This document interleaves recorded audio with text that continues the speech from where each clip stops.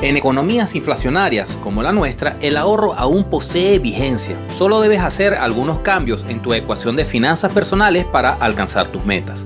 La regla sugiere que de tus ingresos mensuales debes destinar 20% al ahorro, 20% al pago de créditos y 60% al pago de gastos y seguros.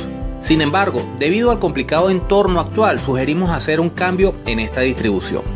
Fortalece tus ingresos, elimina los gastos innecesarios y asegúrate de contar con capacidad de ahorro. Cambia tu estrategia de ahorro. En entornos con elevada inflación, debes establecer metas de corto plazo para no perder tu capacidad de compra. Apaláncate en el crédito. Adquiere hoy los bienes e inversiones que necesitas y convierte parte de tu porción de ahorro en la cuota de pago de tu crédito.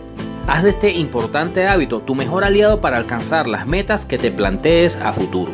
En Bancaribe Junto al IFE te brindamos las herramientas para poner en orden tus finanzas y alcanzar tus metas. Síguenos en Twitter, en Facebook y en bancaribe.wordpress.com.